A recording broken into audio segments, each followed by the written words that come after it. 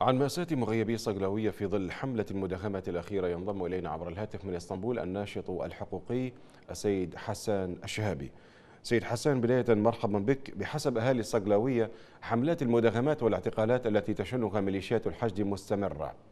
ما المغزى منها؟ بسم الله الرحمن الرحيم. تحية طيبة لك والمتابعين الكرام. في الحقيقة مدينة الصقلاوية عانت الكثير من بطش حكومي وميليشياوي. آه هذه المدينة التي غيب عنها أغلب رجالها وهم الآن في عداد المفقودين بمصير مجهول. وما زالت الميليشيات مستمرة في المداهمات والإعتقالات والابتزاز في الصقلاوية ومنذ سنين على نفس الحال. آه في العام الماضي تم الكشف عن مقبرة جماعية تضم 640 جثة لرجال وأطفال بالقرب من تلك المدينة. كلها نتاج هذه الميليشيات. الطائفية التغييب القسري التهجير إذلال الناس وابتزازهم هو مراد هذه الميليشيات ومن يحركهم. هذه. هذه المدينة باتت نساؤها أما ثكالى أو أرامل أو يتيمات. مدينة شبه خالية من الرجال يعني. الحكومة العراقية والميليشيات يعني هم متهمون بإبادة هذه المدينة أمام أنظار الجميع لماذا؟ نعم. يعني ما الهدف من هذه المداهمات يعني ماذا ما المغزى الذي تريد الميليشيات والوصول إليه؟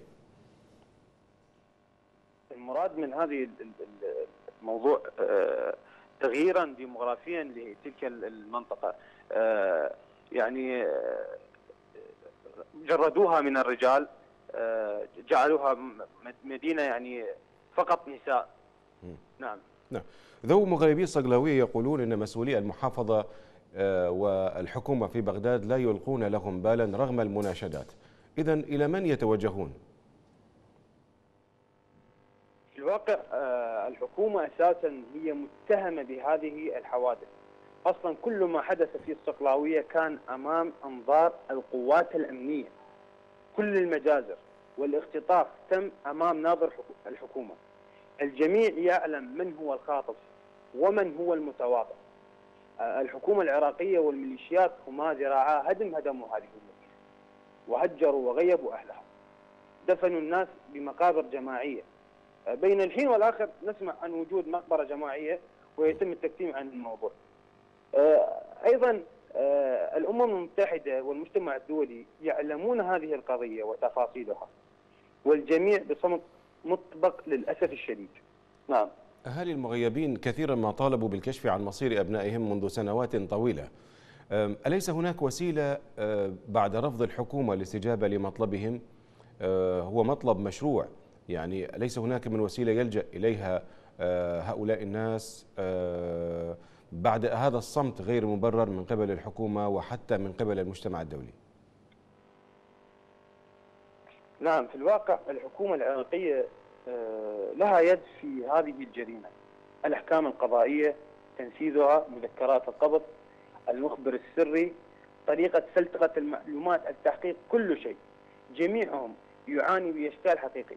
ناحية التشريع والتنفيذ حقيقة القضاء العراقي مطعون في أغلب قراراته. لوجود مخالفات حقيقية للدستور. دستور الموضوع والقوانين النافذة. ناهيك عن مخالفة قوانين حقوق الإنسان في العراق واللوائح والقوانين الدولية فيما يخص حقوق الإنسان وبالأخص موضوع المغيبين. أه حقيقة يعني موضوع الأعداد أعداد المغيبين في ازدياد مهول. طيب سيد حسن يعني المصادر الحقوقية تسجل أعدادا متزايدة من الوفيات داخل المعتقلات طبعا والكثير منهم هم من الصقلاويه. بما تفسر استهداف الصقلاويه وأهل الصقلاويه؟ في الحقيقة ملف السجون من أسوأ ملفات العراق في التاريخ الحديث. ابتداء من من إصدار قانون مكافحة الإرهاب الذي فتح الباب على المخبر السري مرورا بطريقة الاعتقال وتنفيذه إلى مرحلة للتحقيق والتعذيب الممنهج والمعلوم للجميع إلى مرحلة وصول المعتقل إلى القضاء ليتم الحكم عليه بأحكام قاسية. مع العلم القضاء بحال مع علم القضاء بحالات التعذيب وانتزاع الاعتراف بالقوة والإكراه منذ 18 أو 19 سنة وإلى الآن حال المعتقلات في العراق هو من آه، آه، يعني من من سيء إلى اسوء وملف السجون هو من اسوء الملفات في العراق.